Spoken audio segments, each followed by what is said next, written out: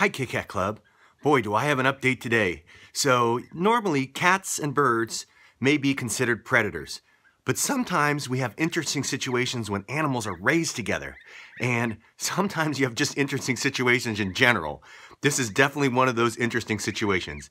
Now, if we take a look here, we're gonna see that I'm accompanied by five little goslings. And you can see here, there is one gato loco there and another one there. And all these crazy cats want to do is play. But I don't think they're ready for five geese coming at them one time. Geese, that would be you. Are you ready to go see what this cat's to do? I think that's a resounding yes. All right, come on, geeslings. Come on, geeslings.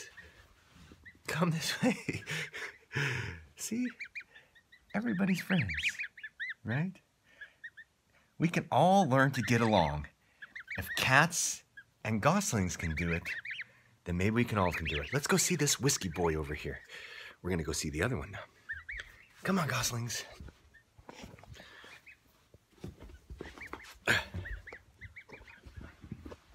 And as you can see, sometimes the geese actually are stronger than the cats. All right, Kit Kat Club, till next time.